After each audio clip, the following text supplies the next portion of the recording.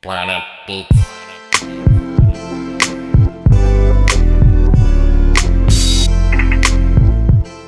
Hello, and welcome to another Motivation Monday. So, if this is your first time tuning in, I want to say welcome. This is my channel, Ecouia TV. My name is Ecouia, and this is my series, Motivation Monday, where every Monday I come to you with a motivational quote to help inspire you and get you through the week.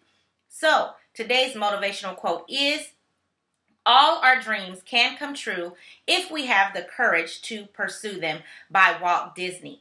I really love this quote because to have courage means that you're overcoming fear. I think a lot of times we think that people who are successful are people who have achieved great things, are people that you admire, are somehow fearless.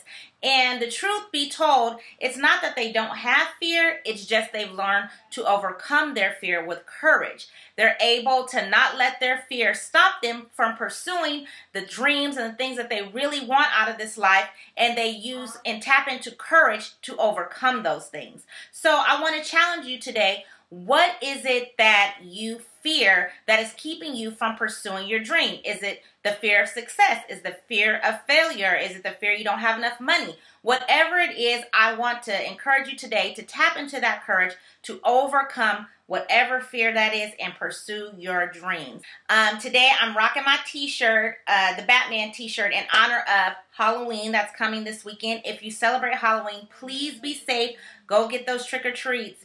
Remember, keep God first and create your own opportunities. Planet.